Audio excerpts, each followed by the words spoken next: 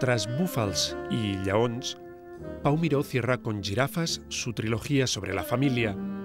Després de tots aquests anys, puc dir que la meva vida ha sigut una merda. He tingut una existència estúpida. Una dona molt... La historia se remonta a la Barcelona de finales de los 50. Es época de dictadura, la vida es gris. En aquell any havia arribat, o estava a punt d'arribar a casa, la primera rentadora. Una pro. La mujer de esta historia sueña con tener una lavadora. Podrá tener más tiempo libre, incluso podría trabajar fuera de casa.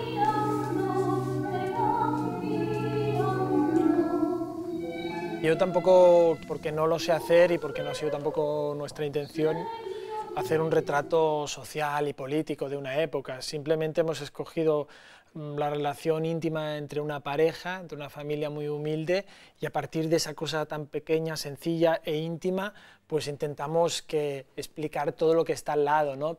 todo lo que envuelve todo el contexto, pero siempre eh, a, a partir de la intimidad, de la, la relación de una pareja, donde pues el hombre tiene unos derechos adquiridos sobre la mujer que a- a- actualmente nos parecerían como casi maltrato psicológico, ¿no? Vols que t'ajudi? No, Pots? puc. Jo no... no sé si ara... No? Si ens haguéssim conegut ara. Què? Com estan les coses ara? Si t'hagués demanat per ballar. Si t'hagués trobat per l'escala i t'hagués dit de venir a ballar amb mi. Ai, no t'entenc. Està bé la sopa? Sí, la de sopa està molt bé. Si... Si, si m'hagués acostat a tu eh, sense dits, y todo lo que se tragó, se tragaron nuestras abuelas y las abuelas de nuestras abuelas, creo que esos silencios de alguna manera nosotros los hemos heredado, ¿no? Yo lo, tengo clarísimo, ¿no? Eh, por suerte estamos, eh, estamos en otra sociedad y hay que ser optimistas, pero bueno, también hay que pensar de dónde venimos. clar, no, no cobraré. Ens en sortirem. Si no treballo, no cobro. Potser ara sí que podria tornar a la lleteria. Per 300 pessetes setmanals. Sí, i tota la llet que Hauràs de treballar cada dia. I només tindràs festa diumenge a la tarda. Jo a casa i tu treballant. Quin sentit? No, només fins que tornis a treballar. Oh, escolta, potser això que havíem dit de, de, de servir els... Quina merda de sentit té tot això? No parlis així. Em vaig distreure un segon. Girafas es una mirada triste hacia atrás que investiga sobre el origen de las otras familias de la trilogía. En este momento me planteo que estas tres obras se podrían recortar, podría adaptarlas un poquito y podría ser una sola pieza, que se podrían ver juntas y creo que sería muy interesante. La família no és el lloc d'on vens, sinó el lloc on vas.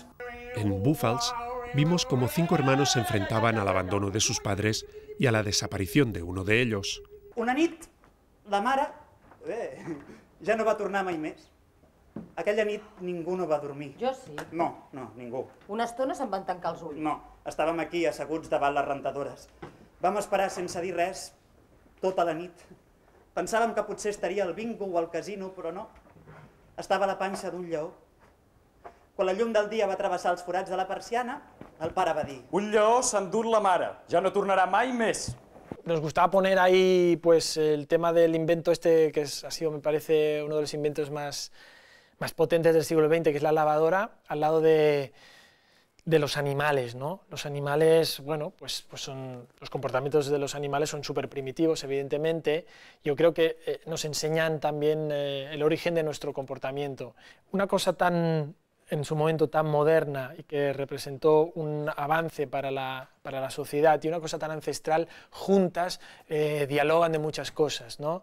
Es de dónde venimos y cómo, cómo, cómo estamos avanzando, ¿no? Els teus pares? No ho sé. Com que no ho saps? La segunda pieza de la trilogía, Lleons, mostraba la lucha por la supervivencia contra el poder dominante de la familia y la hostilidad de las grandes ciudades. La mort del meu fill, per exemple. Una de les coses més terribles que et poden arribar a passar. El primer any va ser una merda, un horror. Però a poc a poc vas traient el cap. I si tens paciència t'adones que la vida segueix. Sense gaire sentit, però segueix. I val la pena. Des que he entrat en aquesta bugaderia que no entenc res, parleu un altre idioma. Però què cony fem aquí? És un puto Guantánamo, això. No, no em vull tranquil·litzar. Com vulguis, però sóc jo qui ha pres cafè. Me'n vull anar a casa! Jo també, però tinc un dubte.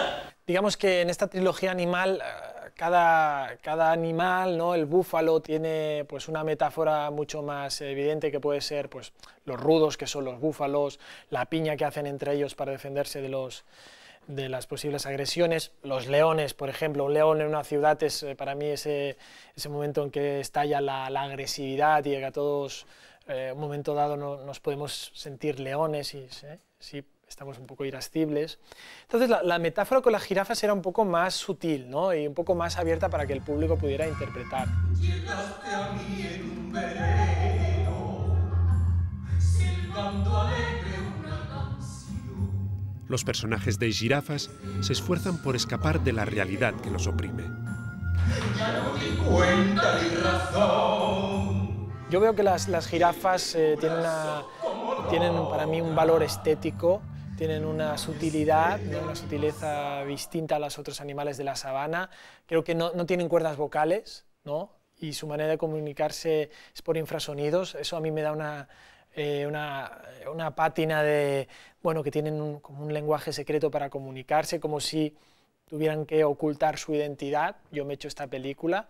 Y como en esta obra de jirafas hay un transformista que actúa en el paralelo, yo para mí un transformista si lo paso a un animal es una jirafa, ¿no? Eh, entonces yo lo veo clarísimo. Me está matando.